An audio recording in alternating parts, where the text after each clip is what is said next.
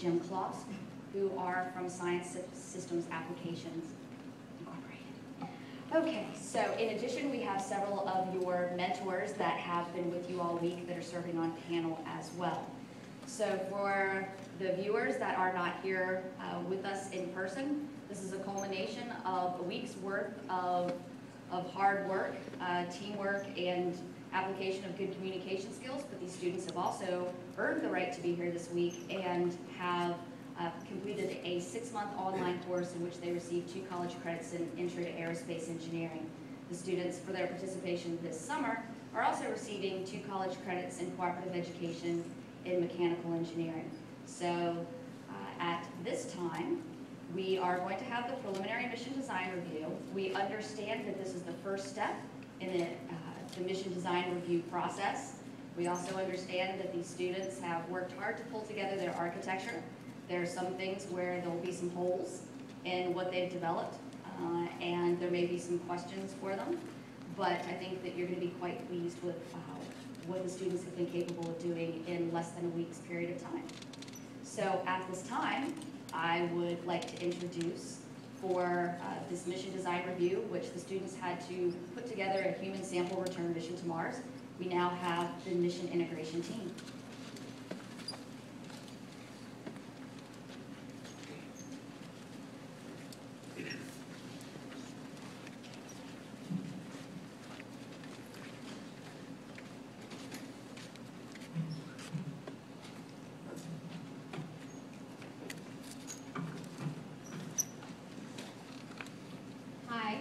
My name is Aditi Joshi, and I worked on the mission background for this particular mission. First off, we came up with a logo and a name. Our name, we decided to be Victory because of Magellan. His ship, the only one to be able to circumnavigate the globe, was named Victoria. We condensed this name into Victory because we believe that it is a great feat and a victory if this mission succeeds because it'll be the first human space flight to Mars. For mission background, um, this will be the first human mission to Mars, and we will be gathering regolith for understanding better the history behind the life that has possibly existed on our Martian surface. And we also want to establish preliminary plans for future human uh, missions to Mars. As far as our statement, our goal is listed on the slide, and uh, we are looking specifically at the life and geology of the Martian surface. As far as spin-off technologies for the medical field, if we do find life on Mars, we can get medicine from the life discoveries and the different organisms that we may find. Additionally, if we find plant life on Mars, the agricultural field can really benefit from the ways that the plants are growing on Mars and kind of integrate the um, the systems that they see on Mars into our agricultural system. Additionally, for the stakeholders, of course NASA, SpaceX, because even though they are a commercial institution, we are doing a lot of different infrastructure and new systems to create this first human space flight to Mars, so they can integrate a lot of these new systems into their company as well. The National Institute of Health, with, which goes with the spin-off technology of the medical field, and lastly, the space, the State Department, because we are going to be working with an international partner, and that relationship is really going to help strengthen the relationship between um, these two countries, not just in spaceflight, but in normal international recreation. Hello, my name is Cecilia Miguel. I'm here to present to you about our mission requirements. To achieve our primary goal, this mission shall determine if life ever arose on Mars. These requirements contain the need for the crew's survivability, transport to Mars and back to Earth, and the success of the scientific experiments. To achieve our secondary goal, our- this mission should determine the effect of microgravity on humans in space. These requirements contain the need for both physical and psychological stability to be monitored for each individual crew member.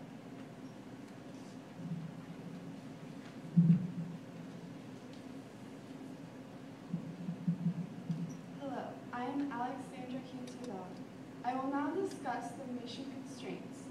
At the beginning of this mission, we were given a list of constraints. The information listed are the constraints of importance. The time frame provided to us ranges from 2035 to 2060 and will include at least 30 days of service day and a duration no more than 10 years. We were required to have a minimum crew of two. As you will see later, our mission will have a crew size of six. The probability of loss of mission cannot exceed 30%. The technologies that we will develop for this mission must be sustainable, meaning that they must be able to be used for more than one mission. We, to, we are allowed to include in situ resource utilization, or ISRU. We have to stay within our bu- cost budget total. We have to include at least one international partner in some capacity in the mission.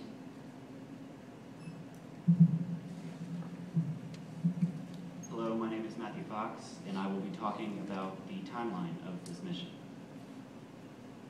As seen behind me, the, there's going to be two different launches from the surface of Earth, one with the cargo and one with the actual crew. The first launch with the cargo will be launched on July 27, 2049, and will last approximately eight months, eight months in transit to get to Mar- the Martian surface. And then the second launch will, um, the second launch will be lifted from the Earth's surface on February 12, 2054, and will last approximately 11 months. There will be a total duration of three months on the Martian surface, and then three, after that three months is up, the crew and the samples that they have obtained will lift off from the Martian surface on April 17, 2055, and their transit back to the Earth's surface will last approximately six and a half months.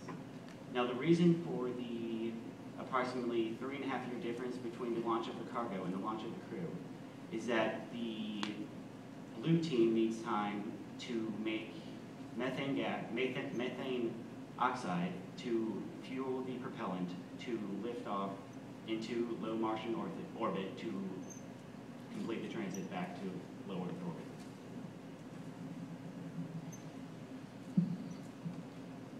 Uh, hello, I'm Emily Boda, and I'm talking about mission success. Uh, we define full, uh, partial, and minimum success.